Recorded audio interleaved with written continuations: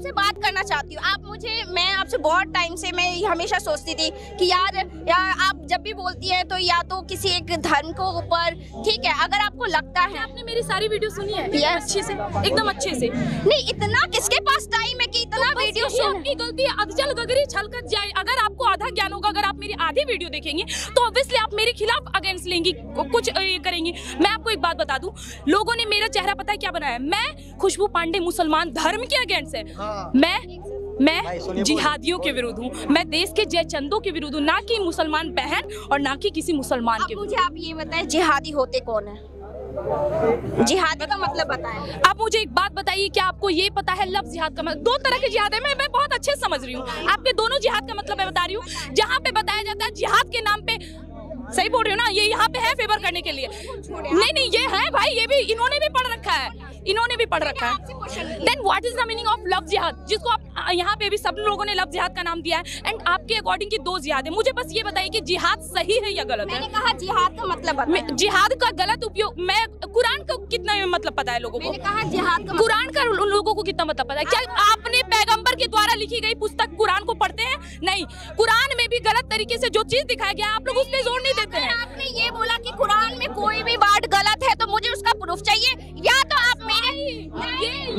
आप जिहाद का मतलब जानना चाहती है, मैं आपको बताऊँ। अगर कोई हिंदू लड़की है, उसके सामने कोई लड़का मुसलमान हिंदू बन के आता है और उसके बाद हमारी बहन को काट देता है, जिहाद ये है। मेरे या, मेरी एक सेकेंड एक सेकेंड, अब आप सुनिएगा।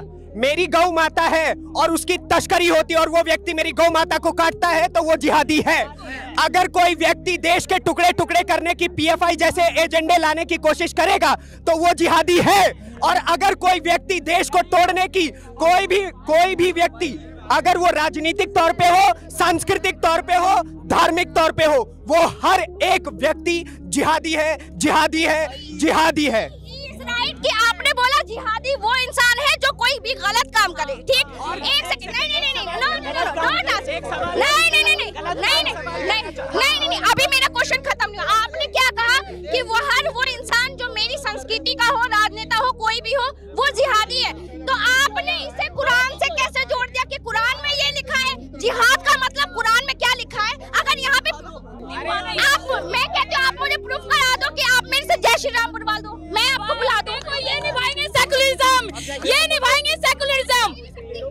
सकती नहीं बोल सकती।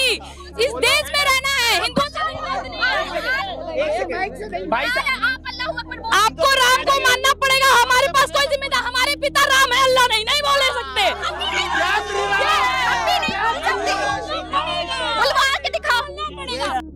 आज जो सबसे ज़्यादा बदनाम इस्लामिक लफ्ज है जिसके बारे में सबसे ज़्यादा गलत फहमी है आज वो है लफ्ज जिहाद। आज जिहाद के बारे में सबसे ज़्यादा गलत फहमी है। ना ही गैर मुसलमानों को गलत फहमी है, मीडिया के वजह से कई मुसलमानों को भी गलत फहमी है। सिर्फ़ गैर मुसलमान ने, मुसलमान भी अक्सर सोचने लगे कि अगर कोई भी जंग मुसलमान लड़ता है चाहे अपने जाति फ़ायदे के लिए हो, चाहे नाम के लिए हो, चाहे पावर के लिए हो, चाहे ज़मीन के लिए हो, चाहे माल के लिए हो, उसे कहते हैं जिहाद।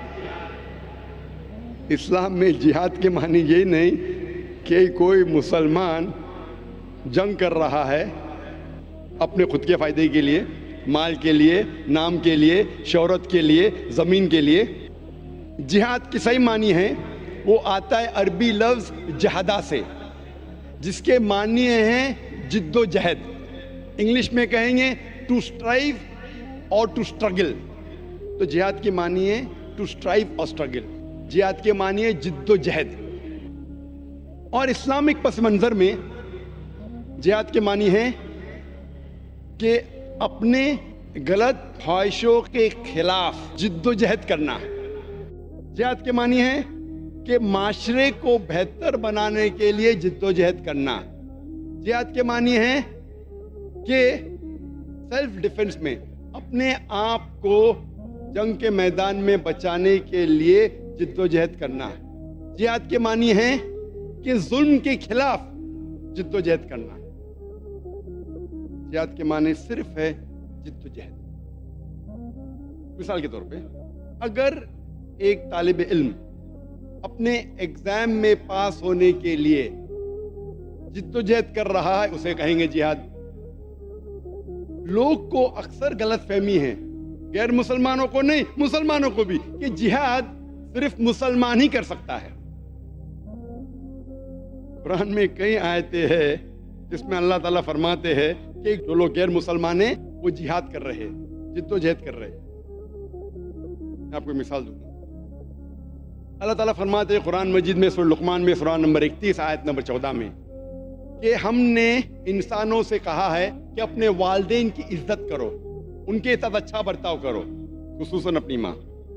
फ़ौरन दूसरी आयत में सुर लुकमान नंबर इकतीस, आयत नंबर पंद्रह में अल्लाह ताला फरमाते लेकिन अगर आपके वालदेन जिद्दोजहद कर रहे हैं, आपको इबादत करने के लिए उसकी अल्लाह के अलावा जिसके बारे में आपको इल्म नहीं है।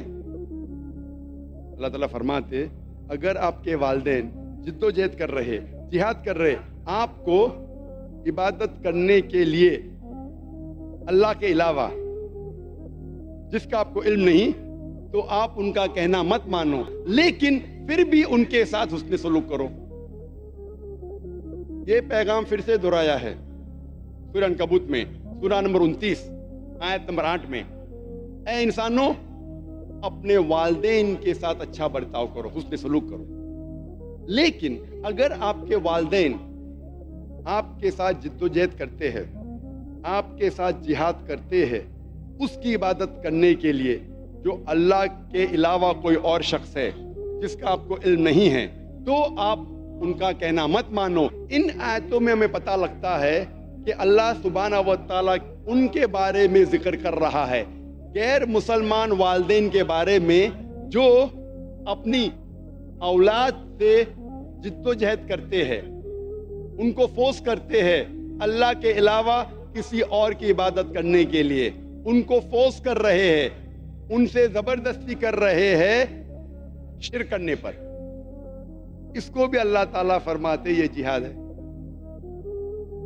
अल्लाह ताला फरमाते हैं, सूरह निसा में सूरह नंबर चार, आयत नंबर छिहत्तर सेवेंटी सिक्स मोमिन है वो जो जिद्दोजहद करते हैं अल्लाह के राह में। और वो लोग जो ईमान के खिलाफ है, वो लोग जिद्दोजहद करते हैं शैतान के इसे ये पता चलता है हमें इन आयतों के ज़रिए कि जिहाद मुसलमान भी करते गैर मुस्लिम भी करते हैं। लेकिन जब मुसलमान सही तरीके से जिहाद करता है, उसे कहते हैं जिहाद फ़ी सबीलिल्लाह। जो ईमान के खिलाफ जद्दोजहद करता है, उसे कहते हैं जिहाद फ़ी सबील शैतान। अक्सर कुरान मजिद में जब जिहाद का ज़िक्र होता है, हम मानते हैं कि वो जिहाद फ़ी सबीलिल्लाह है। लेकिन अगर पस मंजर से पता चलता है कि वो जिहाद फ़ी सबील्लाह नहीं है तो हम उसे कहते हैं जिहाद फ़ी सबील शैतान। ये लफ्ज जिहाद, उसका तर्जुमा अक्सर गैर मुसलमान और कई सो कॉल्ड इस्लामिक स्कॉलर्स जो अपने आप को इस्लामिक स्कॉलर्स हैं इन्वर्ट कॉमर्स वो जिहाद का तर्जुमा करते हैं होली वॉर पाक जंग। अरबी में तर्जुमा करते होली वॉर या पाक जंग। अरबी में होता है हरब मुकदसा आप पूरा कुरान मजीद पढ़ लीजिए। सारे हदीसें पढ़ लीजिए। कहीं भी पाक जंग, होली, वॉर, हरब मुकदसा कहा ही नहीं गया है। ये लफ्ज होली, वॉर सबसे पहली बार इस्तेमाल किया गया था क्रूसेडर्स के लिए। ईसाई जब अपना मज़हब फैला रहे थे, ताकत के बल पे, तलवार के बल पे, लोग से ज़बरदस्ती ईसाइत कबूल करा रहे थे। उस वक्त उसे कहते थे होली वॉर। आज ये अल्फाज होली वॉर इस्तेमाल किया जाता है मुसलमानों के लिए। बिल्कुल बेबुनियाद है। अगर हम जानना चाहते हैं, जिहाद की मानी क्या है, जिहाद का मतलब क्या है, हमें पढ़ना पड़ेगा इस्लाम के उसूली किताब, कुरान और सही हदीस। जब कुरान मजीद पढ़ते हैं, कुरान मजीद में अल्लाह ताला फरमाते हैं सूर्य हज में सूरा नंबर 22 आयत नंबर 78 ए मोमिनो, जिहाद करो जिस तरीके से जिहाद करना चाहिए। और अल्लाह सुबहाना ताला ने आपके दीन को आसान बनाया है।